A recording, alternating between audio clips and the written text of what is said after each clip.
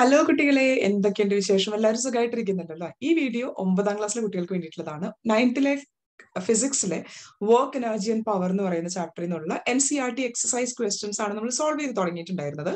കഴിഞ്ഞ ദിവസം question number one മാത്രമാണ് നമ്മൾ സോൾവ് ചെയ്തത്. കാരണം ആ ക്വസ്റ്റിനകത്ത് ഒരു ആറ് സബ് ക്വസ്റ്റ്യൻസ് ഉണ്ടായിരുന്നു. അതുകൊണ്ടാണ് കൂടുതൽ ക്വസ്റ്റ്യൻസ് അതിനകത്ത് ഉൾപ്പെടുത്താതിരുന്നത്. ഇന്നത്തെ വീഡിയോയിൽ പക്ഷെ നമ്മൾ ഏഴ് ക്വസ്റ്റ്യൻസ് ആണ് ഉൾപ്പെടുത്തുന്നത്. ക്വസ്റ്റ്യൻ നമ്പർ ടു മുതൽ ക്വസ്റ്റ്യൻ നമ്പർ എയ്റ്റ് വരെയാണ് ഇന്ന് സോൾവ് ചെയ്യാൻ പോകുന്നത് കേട്ടോ. നമ്മുടെ ടെക്സ്റ്റ് ബുക്കിന്റെ ബാക്ക് സൈഡിലുള്ള ക്വസ്റ്റ്യൻസ് ആണ്. അപ്പോൾ ഏതൊക്കെയാണ് ക്വസ്റ്റ്യൻസ് എങ്ങനെയാണ് നമ്മൾ സോൾവ് ചെയ്തതെന്നൊക്കെ നോക്കാൻ എല്ലാവരും റെഡിയാണല്ലോ അല്ലെ? അപ്പൊ നമുക്ക് ക്വസ്റ്റ്യൻസിലോട്ട് കിടക്കാം.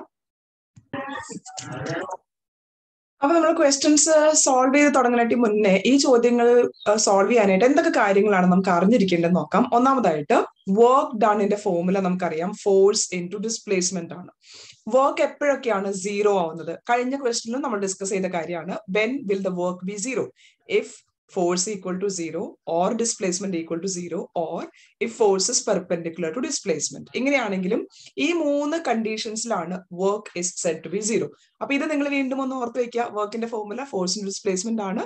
Work will be zero if F equal to zero or S equal to zero or force is perpendicular to displacement രണ്ടാമത്തേത് കൈനറ്റിക് എനർജിയുടെ ഫോർമുല ഓർത്ത് വെക്കണം which is half into into V square minus U square change in kinetic energy എന്ന് പറയും which will be equal to the amount of work ഒരു ഒബ്ജക്റ്റിൽ നമ്മൾ അതിന്റെ വെലോസിറ്റി കൂട്ടാനോ കുറയ്ക്കാനോ ഒക്കെ ആയിട്ട് വർക്ക് ചെയ്തിട്ടുണ്ടെങ്കിൽ work will be stored inside the object as its kinetic energy so change in kinetic energy will be equal to work done മൂന്നാമത് നമ്മൾ law of conservation of energy പഠിക്കുന്നുണ്ട്. Energy can neither be created nor be destroyed ഒരു ഫോമിൽ നിന്ന് മറ്റൊരു ഫോമിലോട്ട് energy conversions are possible അല്ലെ? ഇപ്പൊ നമ്മൾ സ്വിച്ച് ഇടുമ്പോൾ ലൈറ്റ് കത്തുന്നു. അതെങ്ങനെയാണ് സംഭവിക്കുന്നത്? Electrical energy is been converted into light energy അല്ലെ?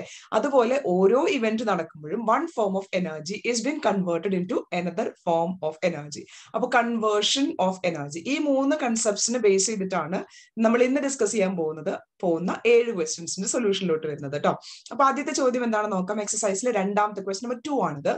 An object thrown at a certain angle to ground moves in a curved path and falls back to the ground അതായത് ഇതാണ് നമ്മുടെ ഗ്രൗണ്ട് എന്ന് വിചാരിക്കുക. ഒരു ഒബ്ജക്റ്റ് ഇങ്ങനെ അറ്റ് എൻ ആംഗിൾ ത്രോ ചെയ്തിട്ടുണ്ടെങ്കിൽ okay which is making a certain angle to the ground ഈ javelin throw discus throw ഒക്കെ നിങ്ങൾക്ക് അറിയാലോ? ഇങ്ങനെയാണ് നമ്മൾ ത്രോ ചെയ്യുക അല്ലെ? ജാവ്ലിൻ ഒക്കെ ത്രോ ചെയ്യുമ്പോൾ ഇങ്ങനെ ത്രോ ത്രോ ചെയ്ത് കഴിഞ്ഞാൽ എന്താ സംഭവിക്കുക? What will be the path path എന്തായിരിക്കും? പാരബോളിക് പാത്ത് ഇങ്ങനെ അത് പോയിട്ട് എന്ത് ചെയ്യും? Will be coming back to the ground after travelling certain distance right ഇതാണ് ഈ ഒരു പറഞ്ഞിരിക്കുന്ന incident finally falls back to the ground the initial and final points of the path of the object lie on the same horizontal line. ഇതാണ് ഇവിടുത്തെ initial point right this is the final point നമുക്കറിയാം ഇത് ഒരേ ലൈനിലാണ് different points ആണ് but they lie on the same horizontal line what is a work done by the force of gravity on the object അപ്പോ ഇവിടെ displacement is happening in this direction right initial position final position direction of displacement is in the horizontal way gravitational force will be always acting towards the ground downward so ഇതാണ് ഫോഴ്സിന്റെ direction this is the direction of displacement as you can see force and displacement are perpendicular to each other ninety degrees ആണ് ഫോഴ്സും displacement തമ്മിൽ ഉണ്ടാക്കുന്നത്. ഞാൻ തുടക്കത്തിൽ പറഞ്ഞിരുന്നു when will the work be zero work zero ആവാനായിട്ടുള്ള conditions either force equal to zero or displacement equal to zero or force perpendicular to displacement അപ്പൊ ഇവിടെ since force is perpendicular to the displacement here we can say the work done is zero. അപ്പൊ the work is zero since body returns to the point which is on the same horizontal line. No displacement has taken place against the force of gravity. Force of gravity യുടെ ഡയറക്ഷനിൽ displacement ഉണ്ടായിട്ടില്ല right ആയിട്ടാണ് displacement ഉണ്ടായിരിക്കുന്നത് right അതുകൊണ്ട് work is set to be zero അടുത്ത ചോദ്യം A battery lights up a bulb. Describe the energy changes involved in the process. Battery ഉപയോഗിച്ചുകൊണ്ട് നമുക്ക് ലൈറ്റ് ബൾബിനെ ലൈറ്റ് ചെയ്യാൻ പറ്റും. അല്ലെ? ബാറ്ററിക്ക് അകത്ത് നടക്കുന്ന ട്രാൻസ്ഫോർമേഷൻ എന്താണ്? കെമിക്കൽസ് ആണ് ബാറ്ററിക്ക് അകത്തുള്ളത് അത് ആദ്യം ഇലക്ട്രിക്കൽ എനർജി ആയിട്ട് മാറണം. ഈ ഇലക്ട്രിക്കൽ എനർജി ബൾബിലൂടെ കടന്നു പോകുമ്പോൾ filament of the bulb will get heated up ഈ ഹീറ്റ് എനർജി ആണ് പിന്നെ ലൈറ്റ് ആയിട്ട് മാറുന്നത്. അപ്പൊ എന്തൊക്കെ എനർജി ചേഞ്ചസ് ആണ് ഉണ്ടായത്? Within the electric cell battery chemical energy is been converted into electrical energy first and then the electrical energy will be utilized to heat up the filament of the bulb. And then it be converted into light energy അപ്പോൾ chemical to electrical to heat to light ഇതാണ് energy transformations ഇവിടെ നടക്കുന്നത് ഇതാണ് നമ്മുടെ എക്സസൈസിലെ മൂന്നാമത്തെ question ആയിരുന്നത് നാലാമത്തെ question a certain force acting on ഇതൊരു പ്രോബ്ലം ആണ് സോൾവ് ചെയ്ത് നോക്കാം on a twenty kilogram mass അപ്പൊ നമുക്ക് എന്തൊക്കെയാ തന്നിരിക്കുന്നത് എഴുതി വെക്കാം given m is equal to 20 kg. Mass is given as 20 kilogram. Changes its velocity from this to this. Up initial velocity is 5 meter per second. Final velocity is two metre per second ഇത്രയും കാര്യങ്ങൾ നമുക്ക് തന്നിട്ടുണ്ട്. Calculate the work എന്നാണ് ചോദിച്ചിരിക്കുന്നത്. ഞാൻ നേരത്തെ പറഞ്ഞിരുന്നു work can be written as equal to change in kinetic energy change in kinetic energy is what half into M into V square minus U square നമുക്ക് എല്ലാ വാല്യൂസും തന്നിട്ടുണ്ട്. ജസ്റ്റ് സബ്സ്റ്റിറ്റ്യൂട്ട് ചെയ്ത് ഒന്ന് കാൽക്കുലേറ്റ് ചെയ്താൽ മതി. അപ്പൊ ഹാഫ് ഇൻ ടു എം എത്രയാണ് തന്നിരിക്കുന്നത് twenty into V square V is two ടുവിന്റെ സ്ക്വയർ എന്ന് പറയുമ്പോൾ four minus ഫൈവിന്റെ square is twenty five right which is ടൂം ട്വന്റിയും കട്ടായിട്ട് നമുക്ക് ടെൻ എന്ന് എഴുതാം. Which is equal to ten into four minus twenty five എന്ന് വെച്ചാൽ എത്ര minus twenty one which means the work is equal to minus 210 joules എന്നാണ്. ഈ നെഗറ്റീവ് സൈന്റെ അർത്ഥം എന്താണ്? Negative sign indicates that the work is done to reduce the velocity എന്നാണ്. Okay velocity കുറയ്ക്കാനാണ് നമുക്ക് ഈ വർക്ക് കൊണ്ട് ഉപകാരം ഉണ്ടായത്. ആ റെഡ്യൂസ് ഡിക്രീസ് എന്നുള്ളത് കാണിക്കാനാണ് നെഗറ്റീവ് സൈൻ ഉള്ളത്. നമ്മൾ വാല്യൂ സബ്സ്റ്റിറ്റ്യൂട്ട് ചെയ്യുമ്പോൾ തന്നെ നമുക്ക് നെഗറ്റീവ് ആയിട്ടാണ് ആൻസർ കിട്ടുക. അപ്പോൾ ഇതും നിങ്ങൾക്ക് എല്ലാവർക്കും മനസ്സിലായിട്ടുണ്ടാവും എന്ന് വിചാരിക്കുന്നു. അടുത്തത് ക്വസ്റ്റ് നമ്പർ ഫൈവ് എക്സസൈസിലെ mass of 10 kilogram is at a point A on the table. അപ്പൊ നമുക്ക് ഇവിടെ ഒരു ടേബിൾ ഉണ്ട്. ഓക്കെ ഇത് നമുക്കൊരു ടേബിൾ എന്ന് വിചാരിക്കാം.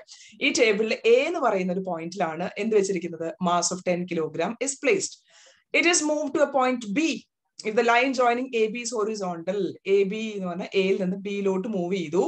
Okay line is horizontal what is the work done on the object? By gravitational force? So here displacement is acting in this direction. Gravitational force will be always acting in the downward direction, right?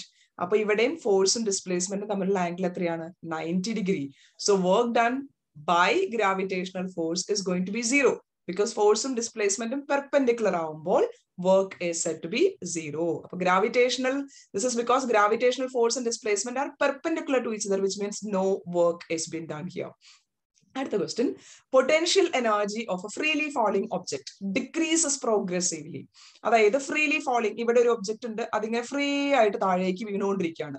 Potential എനർജിയുടെ formula നിങ്ങൾക്ക് അറിയാലോ? It is M G H താഴേക്ക് വരും തോറും height is decreasing height decrease ചെയ്യാണ് which means potential energy is decreasing does this violate law of conservation of energy why energy can not uh, destroyed right? Potential energy കുറയുന്നുണ്ട് so it cannot be destroyed. During the free fall what happens to the object is its velocity will increase.